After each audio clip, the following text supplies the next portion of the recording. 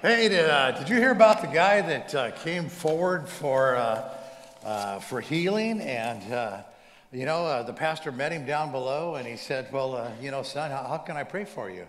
And he said, Well, Pastor, I want you to pray for my hearing. And he says, Okay. So the pastor leans over and he, he grabs both of his ears and he just prays fervently for his hearing. And then, and then at the end, he says, Okay, now, how is it now? And he says, Well, I don't know yet, Pastor. My, I don't go to court till Wednesday. Uh,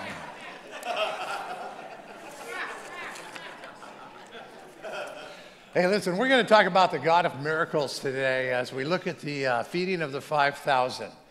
And uh, you know, our God is the God of miracles. I've got something on my desk that reminds me of that uh, from Hobby Lobby.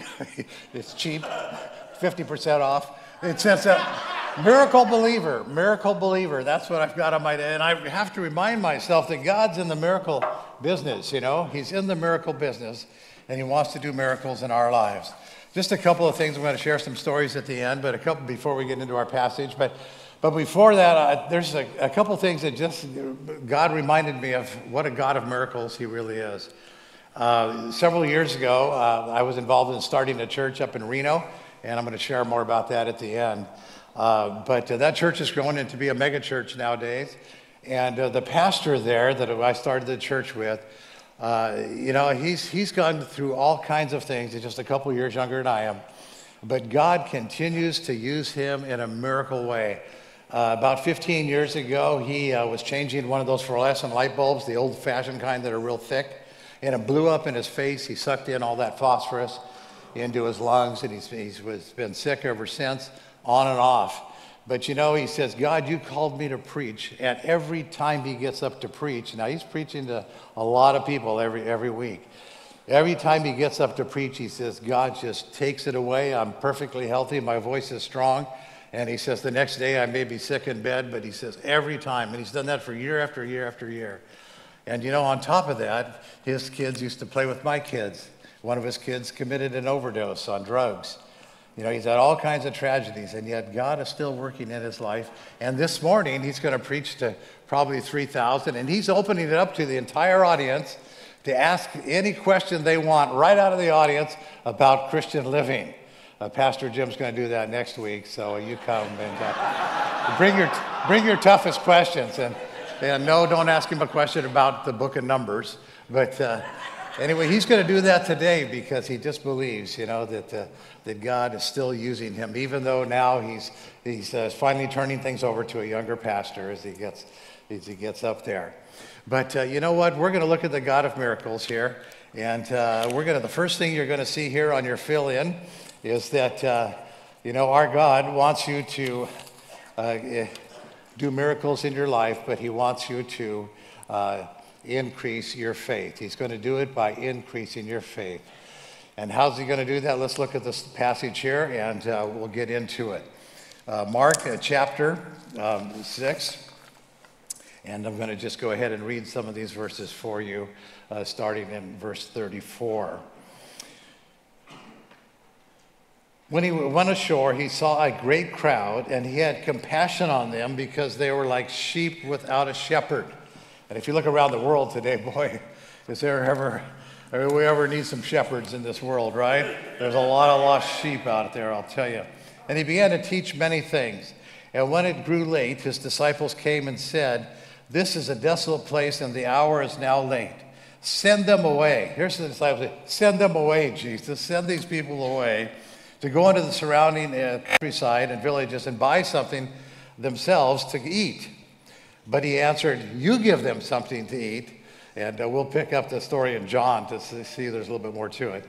As, as, shall we go and buy 200 denarii? That's about uh, eight months worth of, worth of wages. How would you like to be told? Hey, take eight months out of your next salary and go buy these people food.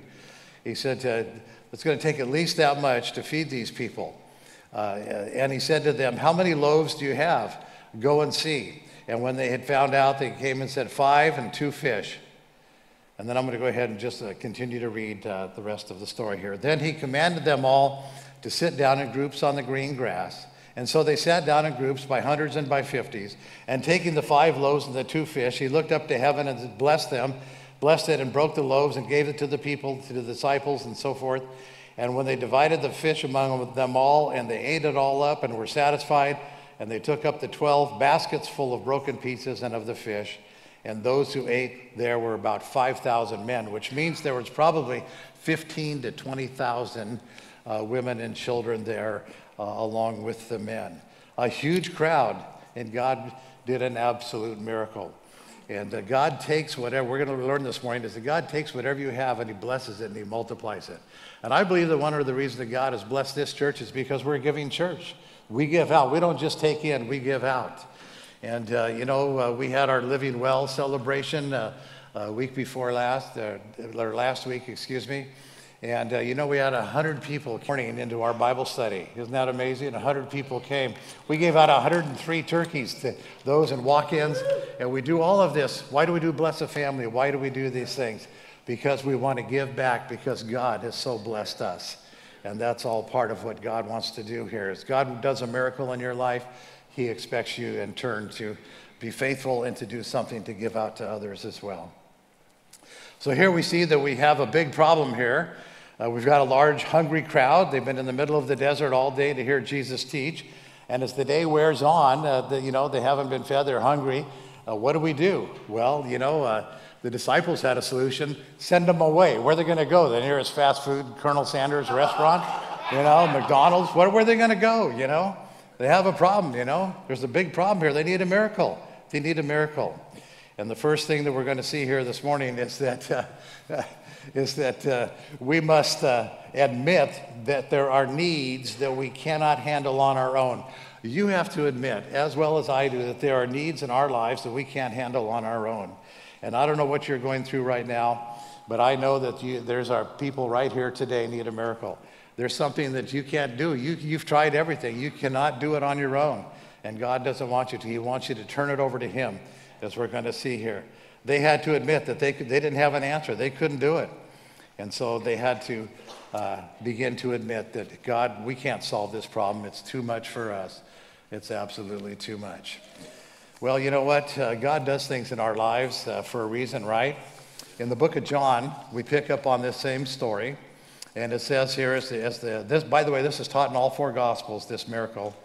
And so uh, Jesus, uh, lifting up his eyes uh, then and seeing such a large crowd was coming towards him, Jesus said to Philip, Where are we to buy bread so that these people may eat?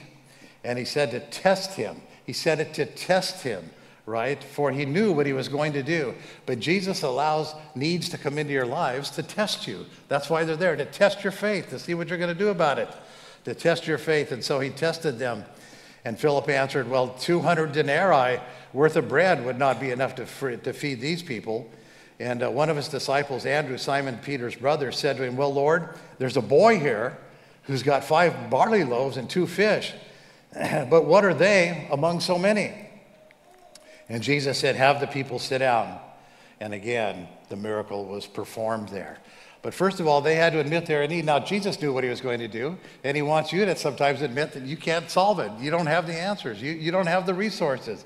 And we, first of all, need to admit there's just problems in our lives that we cannot solve. We cannot solve. Well, you know what? Uh, uh, we have a problem in our lives that we haven't been able to solve. And I have three sons. Um, uh, one's up in Portland. He's an engineer. He's doing well up there. I have another son and lives here, and he's an engineer, and he's doing very well. But we have a middle son that's uh, we've had just issues and problems with uh, for years and years and years.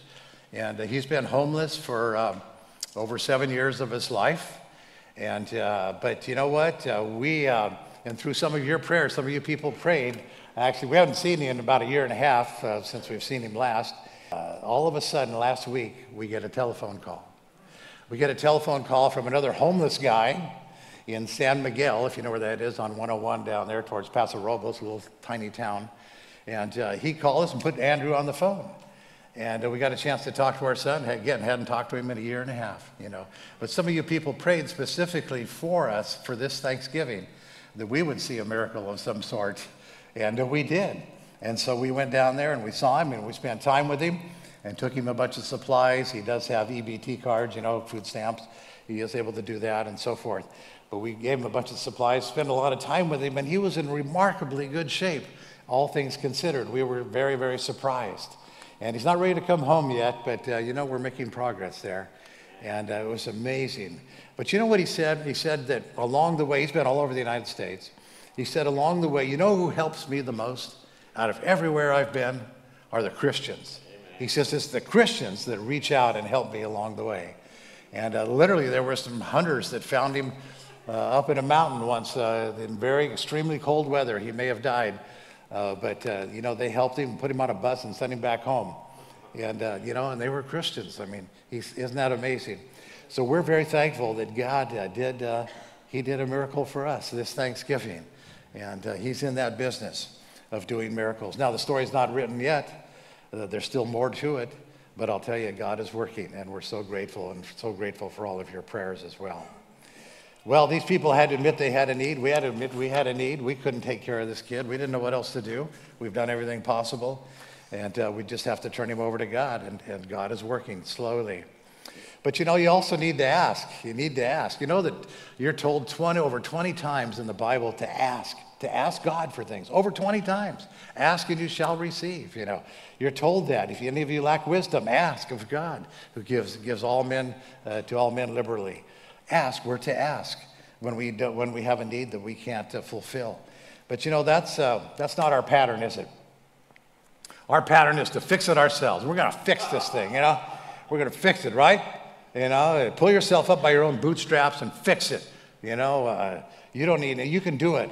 And, uh, you know, yeah, sometimes you can fix it, but there's other times there are things in your lives that you cannot fix. There's no way you can fix it. You know, unless God intervenes, it's, it's unfixable. And those are the times that God uses to really stretch our faith and cause us to grow. And that's why He does it. So here they, uh, they pass the buck.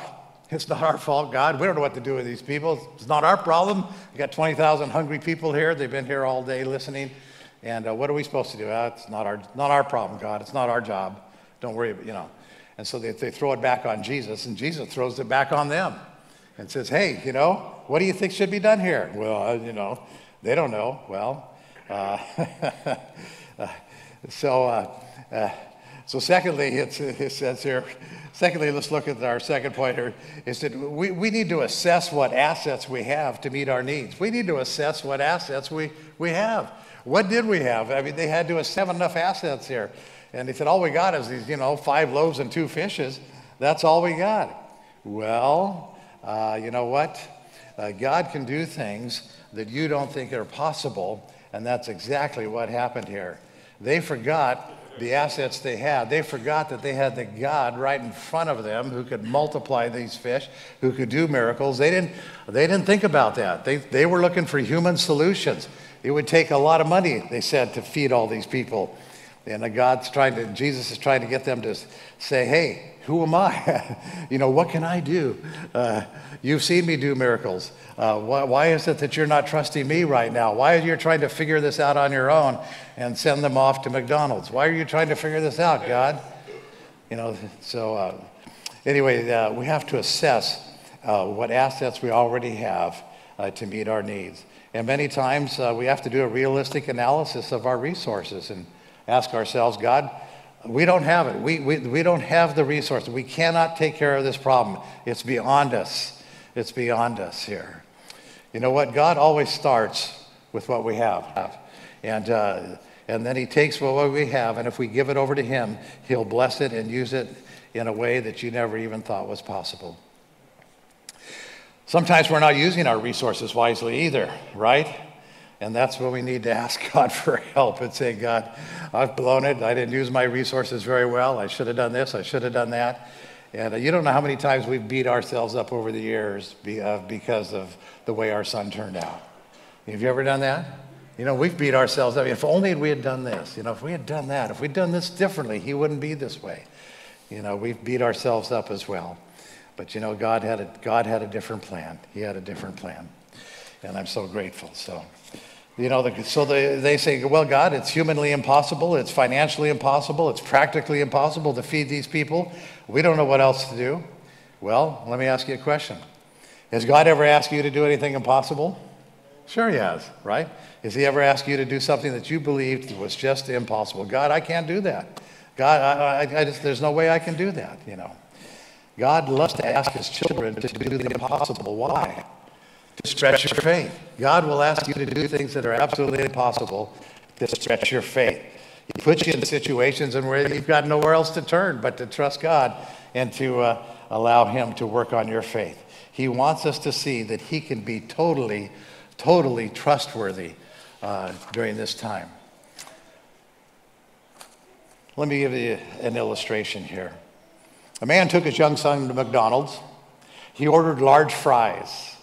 As watching his son eat them, he instinctively uh, reached out uh, over and grabbed one of the fries, and his son slapped his hand and said, Dad, you can't have one. Those aren't your fries. And so the, the, the man, the dad said, uh, three thoughts came into his mind when, when that happened. First, he, uh, uh, he realized, uh, my child has forgotten that I'm the source of his fries. my, that's right, I'm the source of his fries, right? I bought them. And without me, he'd have no fries. Secondly, my son has forgotten that I control the fries. I can take them and say, no more fries, or I could go out and buy a truckload of fries if I wanted to because I have the means. And thirdly, he needs to realize that I really don't need his fries. I could buy my own. What I, but I really want is for my son to learn to be unselfish.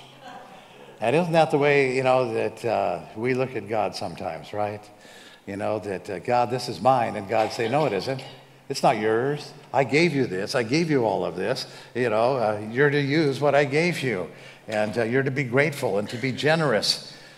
And that word generosity is used over 2,285 times in the Bible. We are called to be generous people with whatever we have. Whatever we have, we're called to be generous here. And why does God want me to be generous? you know, because He wants to make you more like Him.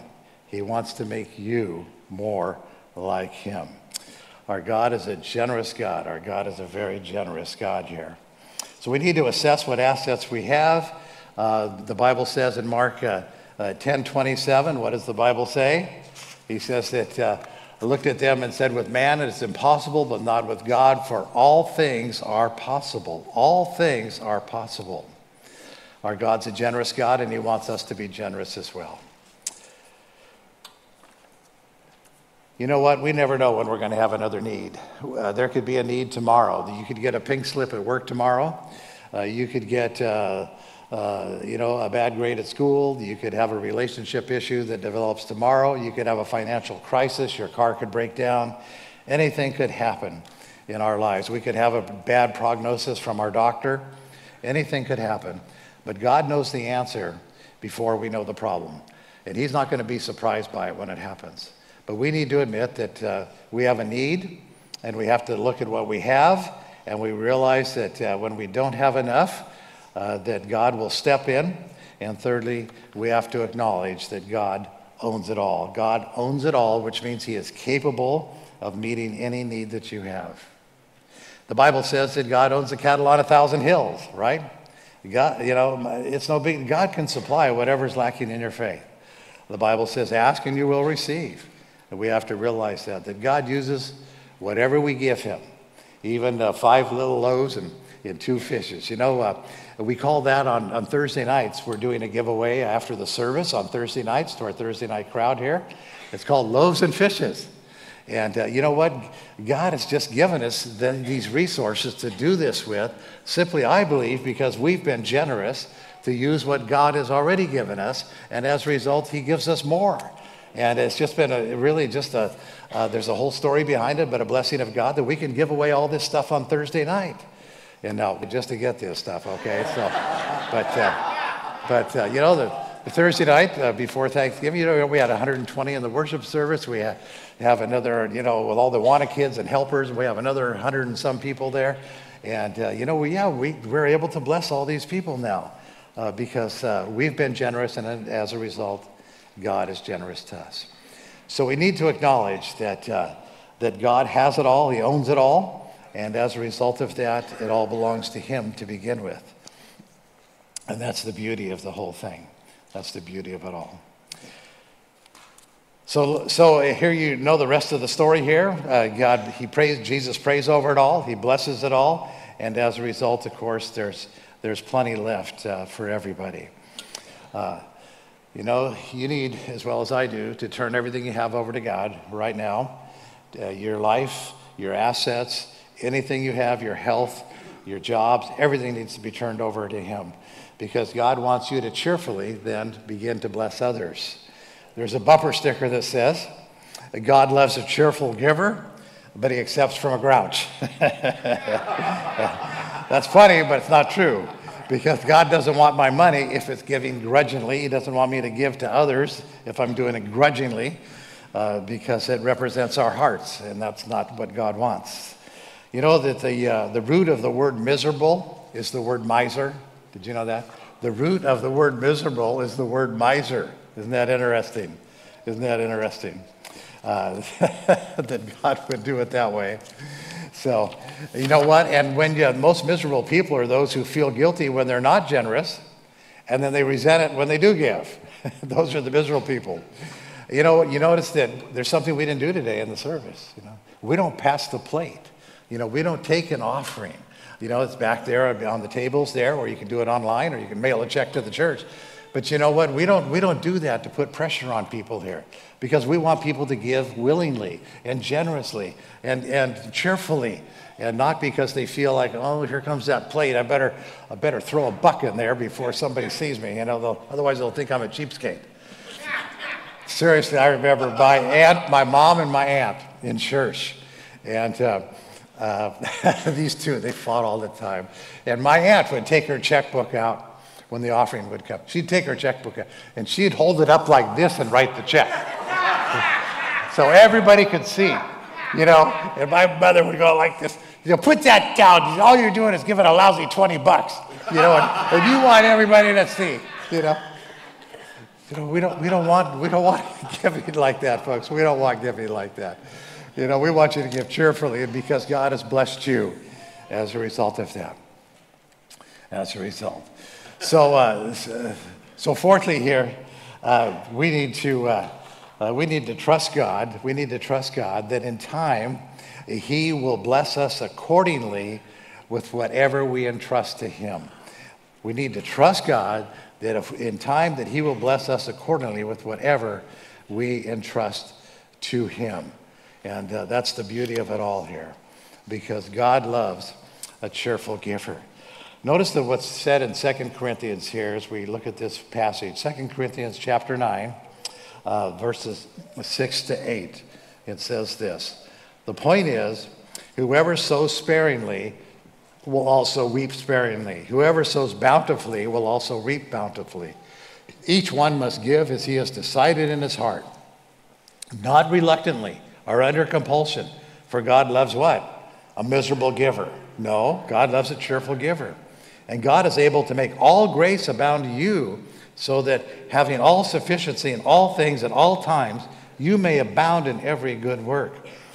You know, so this whole passage, this whole chapter is about how God wants us to be generous, giving people. Uh, that's what Thanksgiving is all about, isn't it? To be thankful for all that God has given us. It's a principle of sowing and reaping here, that God wants us to be like Him. God started out by being a giver, right? For God so loved the world that He did what? He gave His only begotten Son, that whosoever believeth in Him should not perish but have everlasting life. You see, God gave first. God gave His Son to die on a cross for you to save you uh, and to, to see that your sins are forgiven so that you could have an eternal relationship with Him and a relationship with Him right now. God gave first, and He wants us to be give out of the fact that He gave first. He gave to us. And as a result, we always reap back more than what we sow. You know, uh, if I plant a kernel of corn, what do I do? I get one kernel back? No. I get a whole stock full of ears with over a thousand kernels in each one. You know, there's a principle here that as we give and as we're thankful and we're generous people, that God gives back. That doesn't mean that if you give a dollar here or you give somebody else a loaf of bread, that you're going to get two of them back tomorrow. It doesn't mean that, but over your lifetime, over your lifetime, it means that as you follow God's principles and you obey Him and you tr- entrust everything in your life to Him, He will bless you in many ways over a lifetime. Over a lifetime. Let me give you some, just a few uh, examples. You know, when I first started out as a youth pastor, uh, way back in the dark ages, uh, that, uh, you know, uh, I had an elder who took me aside and he said, Jim, he said, uh, I'm going to I'm to give you some advice. He was also a CPA. And he said, uh, there's, there's some things I want you to do. And if you do these things, I promise you, you will be blessing me uh, 30 years after I'm gone, long dead and gone. Uh, you're going to be singing my praises over the advice I gave you. And he says, Jim, I want you to start out. And he says, I want you to start giving 5% uh, to retirement and 10% to the Lord. And I said, man, I can't do that. I'm a youth pastor. I'm only making a thousand a month. I said, I said, I can't even live on that. And he says, Yeah. He says, You don't need to do it all at once, Jim, but start out slowly. Give 1% to retirement, maybe 2% to the Lord, then increase it as God begins to bless your life. And so I did that, and I followed that as hard as it was. I began to follow that. And God blessed us and continued to bless us because we did that. And uh, because our God is a God who's able to stretch things and make things happen and make miracles happen. Our God did that. And as a result, we, uh, we decided after a short time there in Reno, uh, I went to the University of Nevada, Reno, where I got my bachelor's degree in business and economics and finance. And, uh, uh you know, we, did, we decided, uh, uh, and I also went to seminary after that, but we decided to go to Las Vegas, where Mark is, to go to Las Vegas to start a church there. our association wanted to put a, start a church there. They didn't have one there. And we decided to go to Las Vegas, and we met with a very small group of people. Uh, we started out with seven. After they met me, we were down to five. But, uh, we started a church with, with five people, literally. But we didn't have any money. They obviously couldn't give us, the denomination gave us a, a very, very small amount. And so I had to go to work, you know, and we just prayed, God, you know, th- this is in your hands, God. You've called us to do it. We need a miracle. We can't do this. You know, I don't have any money can't do this whole thing. And uh, you know what? Uh, God, through a miraculous set of circumstances, uh, I was able to, to, be a waiter in a brand new fancy restaurant on the Las Vegas Strip. It's no longer there, but uh, uh, it had been swallowed up by somebody else. But you know what? God gave us a, and God gave me an amazing job there. And, uh, you know, I, you know, for two years, I made really good money. And as a result, I was able to quit and uh, uh, after two years and, go with the church full time. My wife had also been working at the time. But God continued to bless and bless. And we had all three of our kids were born in Las Vegas. They have that distinction. Where were you born in Vegas? so, anyway, but, uh, but you know, we bought our first house there.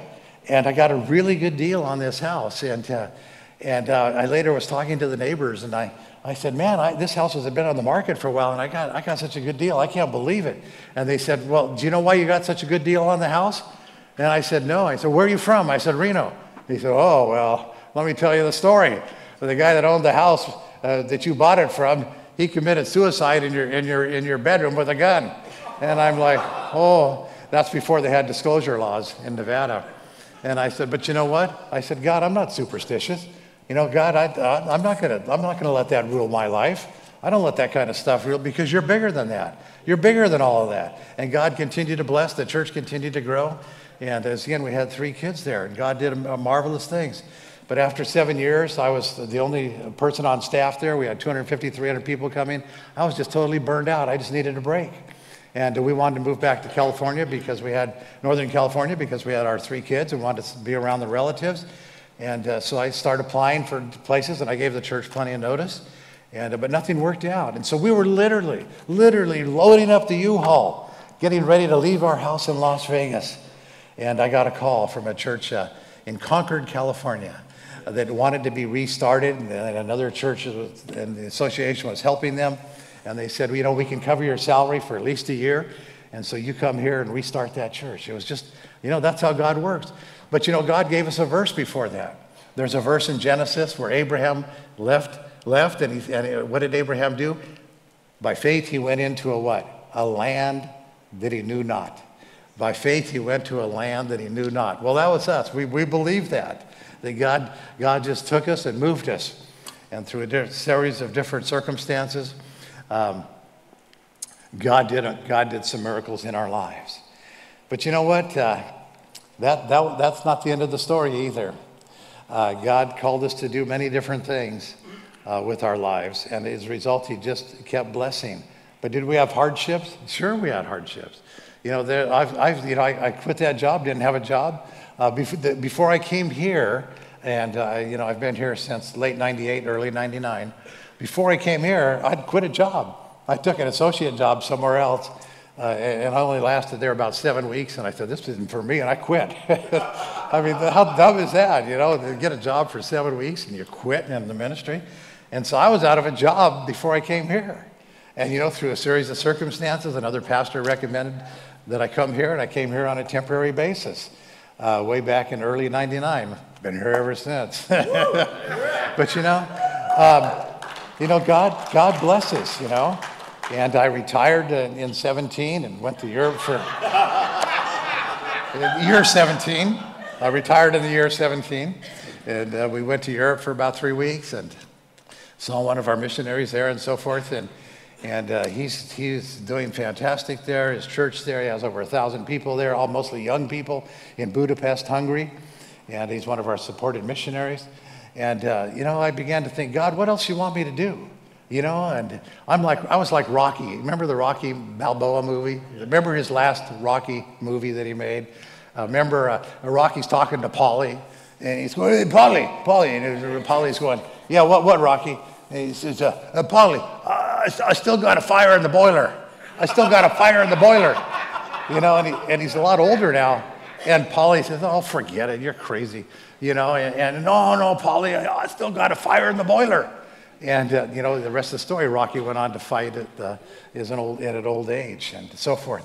Well, I kept thinking that, and uh, through a series of circumstances, the church here was going through some issues back in, uh, back in 18. And, uh, you know, the, I decided to come back on to help out as a volunteer. And uh, I didn't want any pay. I just wanted to just help out because God wanted me to do some things here. And uh, now they do give me a small stipend because I sign all the contracts and do a lot of legal work for the church and business work, and I have to be an employee. So I have to be on the payroll at least for a tiny bit, enough to cover, cover my gas. But you know, God has done amazing things, amazing things. But you know, over the years, I look back and I say, God, you did things I didn't even think was possible. Uh, we had left uh, Concord, California. We went to Reno and helped uh, start a church up there that uh, was uh, a restarted church that was struggling up there. And uh, there was another pastor up there that was pastoring a little tiny church of 80 people. And I was, uh, I was with this new startup church of 120 people. And uh, just by a series of weird circumstances, the two of us ended up getting together. We didn't know each other from anybody. We got together, and uh, was, they were selling their small building because some developer wanted it. And so they had a little bit of money. And uh, we got together and we decided to, to, to have our offices together. And we put our offices together. And, and I said to Dan, I said, Dan, uh, uh, you know what? Let's do something crazy. Let's start a brand new church here in Reno. And let's do, let's just, let's just, you know, try, try it all new. Let's just do something that, that only God can do. And uh, he was up for it. He was a little tired of his, his church. It was going nowhere. It was dead on a doornail. And uh, he said, let's, uh, let's do it. And so we put together a brand new church up there in Reno, Nevada, Nevada, and uh, we, he just happened to have somebody in his church who was an administrator at the University of Nevada, Reno, and we were able to rent out a brand new facility there at the university on Virginia Street for our church services. We did massive advertising with some of the money that they had, and uh, God began to grow and bless. And that church today has thousands of people coming to it, and the same pastor is still there, you know. Why did I leave? Well, that's another story. but you know what? God, God blessed. God took it and did miracles. You know, because we simply trusted Him for something that we couldn't do. We couldn't do that, but God put it all together. Now, has everything been smooth? No, not exactly. There's been plenty of trials along the way, and there will be. But you know what? Over my lifetime, I can see that when you give to God, you give it all to God all your money, all your possessions, all your kids your health, your jobs. You give it all to God and say, God, it's yours. It's not mine to begin. You're the owner, God. You're the guy that bought the french fries, not me. It's all yours, God. You give it all to Him, and He in turn will bless accordingly. And now, right now, there may be in your life a need that you can't solve. There's something you just can't do anything about. There's something you've tried, you, all your assets have run out. You don't know what else to do except trust God. You know, God puts us in those positions for a reason to test your faith. God says, I'm going to put you in a situation, I'm going to give you a need that you cannot solve on your own, and you're going to have to rely upon me. And sometimes we, it takes a long time for us to finally submit and to say, okay, God, I'm tired of fighting. I can't do this. God, it's yours. Take it. And that's when God begins to work in a marvelous and miracle way. And I don't know what it is that you're going through right now, but I do want to pray for you right now that if there's a situation that you're in right now that uh, you can't solve, you don't have the answers to, you don't have the resources to, uh, what are you going to do? Well, God's saying, you know what? You got to trust me with it right now. I want all your finances. I want your kids. I want your families. I want your jobs. I want all your resources. I want your health. I want everything. You give it all to me and trust me for it. And he says, I will do things in your life that you never thought was possible. And that's what God wants to do.